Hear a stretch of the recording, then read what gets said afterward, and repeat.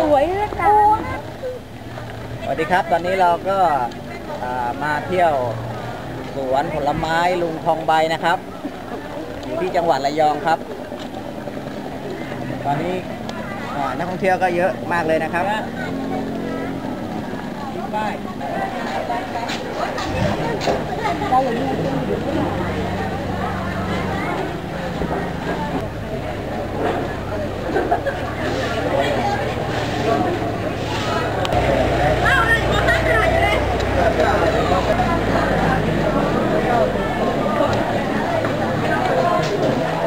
หนึ่งรถมีจำแนกนะครับสวนลุงทองใบนี่นะครับก็ค่าเข้าชมสวนนะฮะผู้ใหญ่ท่านละร้อยเจ็ดสิบบาทนะครับ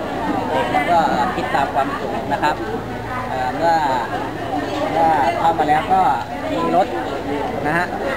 พาเข้าชมในสวนครับ เรียนแหลมไหมลูกรางจัดการก็เนี่ยเยอะเลยดูของลูกเหมือนเหมือนนางยักษ์เมื่อกี้ลงตำนานเฮ้ยไม่ใช่นางยักษ์เอาอย่างนี้เดี๋ยวเดี๋ยวปล่อยปล่อยปล่อยปล่อยลงมาตำๆนางยักษ์ก็เป็นยี่ห้อ